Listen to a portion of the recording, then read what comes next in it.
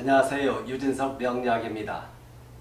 오늘은 배우자 자리에 좌우, 묘유, 도화살이 있는 사람들 이 사람들의 성격, 직업, 그리고 바람 피우는 유형 이걸 가지고 한번 강의를 시작하고자 합니다.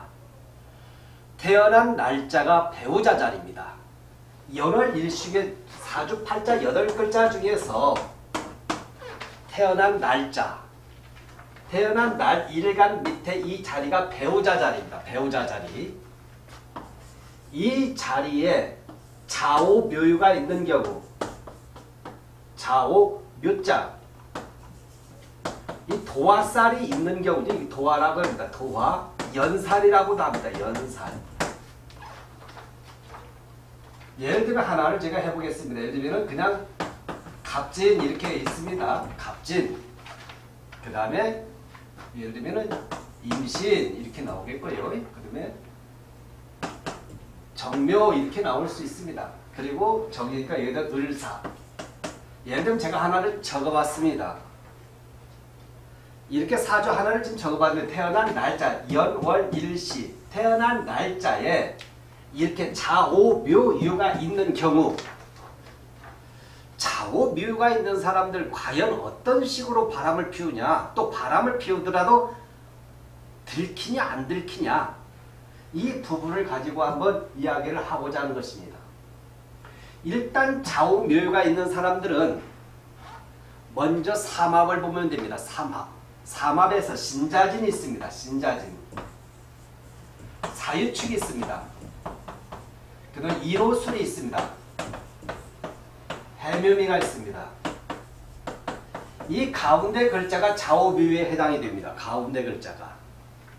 삼합에서 이 글자는 좌우묘유는 다른 어떤 거와 합을 해도 신과 진과 합을 해도 변하지를 않습니다. 그러니까 합을 해도 자기 중심으로 상대를 끌어당긴다는 걸겠죠.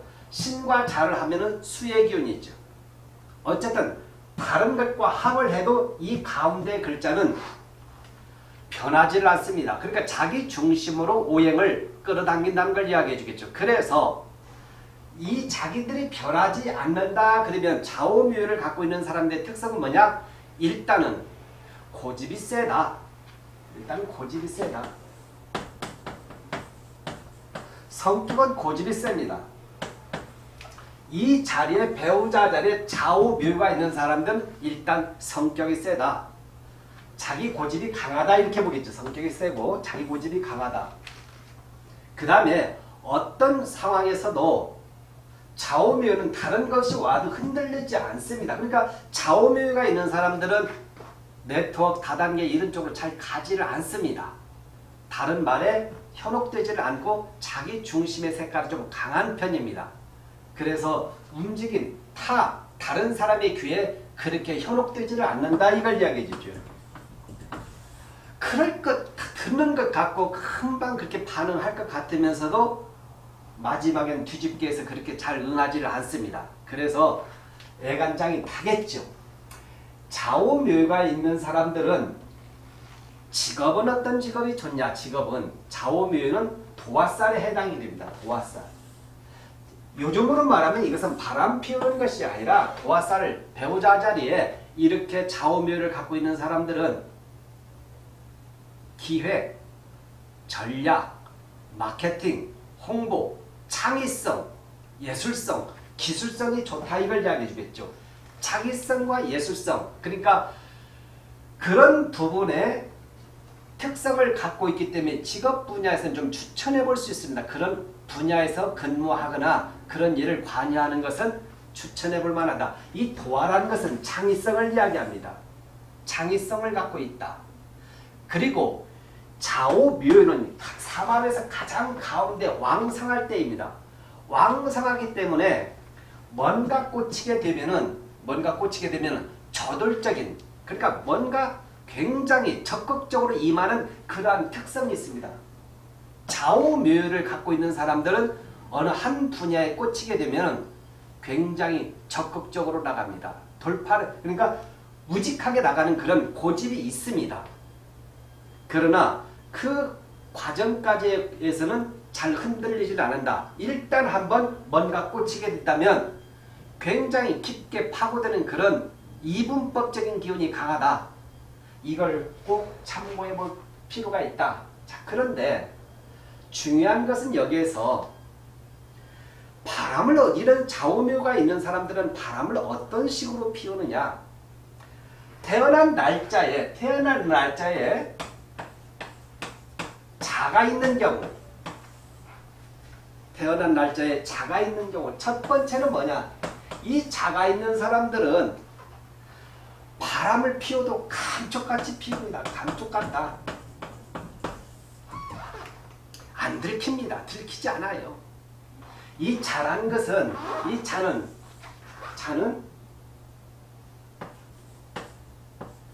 계절로 보면 한겨울을 이야기해주고 시간으로는 한밤중을 이야기합니다. 그래서 이 자를 갖고 있는 사람들은 조용하게 바람을 피웁니다. 그래서 감쪽 같다.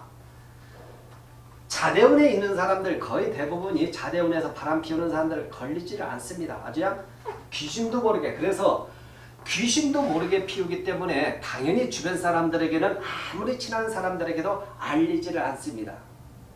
그래서 이 자가 있는 사람들은 약간 배우자들이 자가 있는 사람들은 성격은 어떻냐? 이중적인 성향이 좀 강합니다. 왜 이중적인 것이 강하냐? 이 안에는 음양이 있기 때문에 음양이 뒤집어져 있기 때문에 겉과 속이 좀 다르다. 그러니까 앞에서는 yes 해놓고 뒤에서는 no를 할 수 있는 것이 바로 자다 이렇게 볼 수 있겠죠. 사랑도 이중적인 사랑을 합니다. 이중적인 사랑. 그런데 이, 이 자를 갖고 있는 사람들은 뭐냐? 감쪽같이 바람을 피우는데 뭐가 문제냐? 감정 기복이 좀 심하다. 우울한 기운도 있고 감정 기복이 심하다. 우울성이 있다는 이야기죠. 춥고 대가니까 우울성. 그리고 잘 삐집니다. 그래서 의심도 많고 의심도 많고 잘 삐집니다. 그러니까 자를 갖고 있는 사람들은 바람을 피워도 잘 들키질 않습니다. 이것이 자의 기운이다. 그러나 감정 기복은 참 심하다. 우울증 이런 부분이 밝았다, 흐렸다를 잘한다 이걸 이야기해 주겠죠. 만약에 배우자 자리에 배우자 자리에 오가 있을 경우에 마로자가 있는 경우 마로자 자오묘에서 자가 있는 경우, 그 다음에 오가 있는 경우는 어떠냐, 오가. 오는 오행상 화를 이야기합니다, 화. 이 오를 갖고 있는 사람들은 사랑을 해도 배우자들이 오를 갖고 있는 사람은 화끈하게 합니다. 들킬 수가 있습니다. 주변에게 알릴 수 있습니다. 괜찮다면 알립니다. 내가 누구를 사귀고 있다 이렇게 바람 피우고 있다 이렇게 알릴 수도 있습니다. 근데 이 오를 갖고 있는 사람들은 일단 정열적이다. 사랑을 해도 정열적이다 이렇게 설명할 수가 있습니다. 그런데 문제는 뭐냐? 사랑을 하는데 값을 치릅니다. 그래서 손해보는 사랑을 한다. 희생적인 사랑을 한다 이렇게 설명할 수가 있습니다. 손해본다. 희생한다. 그런데 문제는 뭐냐? 사랑을 해도 오래 가지를 않는다. 바람을 피워도 깊게 오래 가지를 않는다. 어느 정도 일정한 시기 되면 마음이 싹 변해버립니다. 이것이 단점이다 이렇게 볼 수 있겠죠. 장점일 수도 있고 단점일 수도 있겠죠. 어쨌든 오를 갖고 있는 사람들은 사랑을 해도 조금 그런 헌신적인 사랑한다. 뭔가 괜찮다, 꽂혔다 하면은 상대에게 굉장히 최선을 다하려고 한다. 헌신한다 이렇게 볼 수 있겠죠. 물질적도 당연히 물질도 여기에 포함이 될 수가 있다 이렇게 설명할 수가 있습니다. 그 다음에 세 번째 묘자입니다. 묘자. 묘가 있는 경우. 여기에 배우자 자리에 묘가 있는 경우. 자, 묘가 있는 사람들 이런 사람의 특성 자체는 뭐냐? 바람을 피워도 좀 소리가 납니다. 시끄럽다는 거죠. 주변에 알리겠죠. 좀 시끄럽습니다. 묘가 있는 사람들은 좀 시끄럽다. 주변을 알린다 이렇게. 여기는 오행상 목에 해당이 됩니다. 목은 새롭게 돋아납니다. 돋아나는 그 소리가 난다 이 말이에요. 소리가 나기 때문에 바람을 피워도 소리가 난다 이걸 이야기했죠. 바람이 휙휙 두개 눈에 보이지는 않지만 소리가 납니다. 심하게 불면 소리가 납니다. 바람 소리가 납니다. 그래서 묘를 갖고 있는 사람은 바람 피울 때 좀 소리가 납니다. 그러니까 주변에 들킬 수 있는 요소가 많이 있다 이걸 이야기해줘. 그런데 사랑복이 좀 약합니다. 이 묘를 갖고 있는 사람들은 자신은 정말 열심히 사랑을 하고 싶은데 사랑복이 좀 약하다 이렇게 설명할 수가 있습니다. 특히 묘를 갖고 있는 사람들은 이 부분이 굉장히 약합니다. 자궁적이죠. 자궁에 술을 칼을 댈 수가 있다. 수술할 수 있다. 아니면 어쨌든 제왕절개라도 하게 될 수가 있다. 이걸 이야기해 주죠. 이 부분이 가장 허하다, 약하다 이렇게 설명할 수가 있습니다. 어쨌든 묘를 갖고 있으면 사랑에 대한 경 그러니까 지속성을 갖고 싶은데 본인은 지속성을 갖고 싶은데 사랑폭이 약해서 그 부분이 상대에 의해서 지금 상대에 의해서 그리고 이 묘는 분위기를 잘 탑니다. 그래서 조금 좋은 곳에 가면은 그 분위기를 잘 타게 돼 있고 그 다음에 영원히 자유롭다, 자유분방하다 이걸 이야기해 주죠. 그래서 밖으로 많이 쏟아지고 움직이는 걸 좋아하기 때문에 바람을 피워도 밖으로 많이 움직이고 동서남북 돌면서 그런 바람을 피울 수 있는 유형이 이 유형이다 이겠죠. 얘와 반대가 유금입니다. 유는 멀리 가지 않고 좋은 곳에 그냥 가까운 곳에서 피울 수 있는 그런 경향이 있고 얘는 숨어서 피우는 것이고 가장 활동폭이 좁습니다. 멀리 안 가고 가까운 곳에서 하려고 한다는 걸 얘기겠죠. 멀리 여행 가서 좀 바람 피우자 그러면 이 자는 나는 멀리는 안 가 이렇게 이야기를 합니다. 이 묘는 갑시다. 제주도 가자. 서울에서 제주도 가자 하면 갑니다. 부산 가자 하면 갑니다. 얼마나 따라 나갔다. 자는 부산 가자, 제주도 가자 하면 안 갑니다. 그냥 가까운 데서 그냥 바람 피우자 이렇게 이야기하겠죠. 자, 묘라는 것이 그렇다. 그런데 만약에 마지막에 유라는 글자가 있는 경우 배우자 자리에 유라는 글자가 있는 경우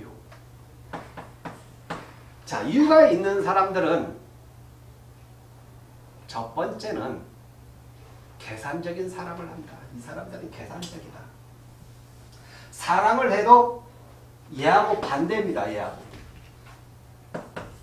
계산적인 사랑을 한다. 손해를 보지 않는 사랑을 한다는 거지. 여기는 좀 손해를 봅니다. 헌신하기입니다. 반대라는 걸 이야기해 주겠죠. 그래서 조금 짜다. 그냥 한마디로 말하면 짜다 이걸 이야기해 주겠죠. 짜다. 큰 거 못 준다. 유를 갖고 있는 사람들이 상대에게 그 큰 것을 주지를 않습니다. 잘 안 줍니다. 근데 남자들은 유를 갖고 있는 사람들은 남자들은 여자들과 틀린데 남자들은 늘 바람 피울 생각을 갖고 있습니다. 생각만 있으면 바람 피울 생각을 합니다. 바람 피울 생각을 하는데 뭐냐? 그냥 꿈에서만 이렇게 갖고 있다는 것이죠. 행동으로 잘못 옮깁니다. 생각만 많다는 거죠. 그러나 여하튼 하게 된다면 사랑을 하게 된다면 짜다, 계산적이다 이렇게 설명할 수가 있습니다. 그래서 유를 갖고 있는 사람들은 어쨌든 바람을 피워도 굉장히 계산적으로 피우기 때문에 손해를 보지 않는 그런 경향이기 때문에 이 유를 갖고 있는 사람들은 그 대신에 이런 사람들은 실용적입니다. 실용적이라는 것은 무슨 걸 무슨 이야기를 하는 거냐면 알맞게 넘치지도 않고 부족하지도 않고 이렇게 하고자 하는 그런 성향이 강한 사람입니다. 그래서 유를 갖고 있는 사람들이 유를 갖고 있는 사람들이 밖에서 아니 집에서 살림을 하거나 혹은 밖에서 활동할 때 사치 크게 크게 낭비를 하거나 사치를 하지 않는 경향이 이 유를 갖고 있는 사람들이 있습니다. 항상 계산법이 조금 치밀하다 이렇게 설명할 수가 있습니다. 배우자 자리에서 좌우묘를 지금 이야기하고 있습니다. 좌우묘유. 배우자 자리 이런 글자를 갖고 있는 사람들은 기획, 전략, 홍보, 마케팅, 창의성, 예술성이 좋다 제가 이야기했습니다. 그런 쪽에서 근무하는 것은 괜찮을 것이다. 두 번째 이런 사람 성격은 떼고집, 고집이 강하다. 다른 것이 와도 자기로 자기 중심으로 뭉치기를 원하기 때문에 자기 색깔이 강하다. 고집이 세다 이렇게 제가 이야기했습니다. 그런데 바람을 피우더라도 이 사람들 유형 자체는 이렇게 각자가 좀 다릅니다. 특성은 하나가 있냐? 공통 부모는 뭐가 있느냐? 공통 부모, 좌우묘는 공통 부모가 하나 있다. 뭐냐? 분위기에 약하다. 분위기에 약하니까 그냥 조금 이 상대가 좌우묘를 갖고 있는 사람들은 도시를 벗어나서 조그만 외곽으로 가서 거기에 가서 오히려 예를 들면 음식을 먹고 여행을 하게 된다면 이런 사람들은 좌우묘를 갖고 있는 사람들은 그냥 녹습니다. 녹아요. 보편적으로 잘 녹아요.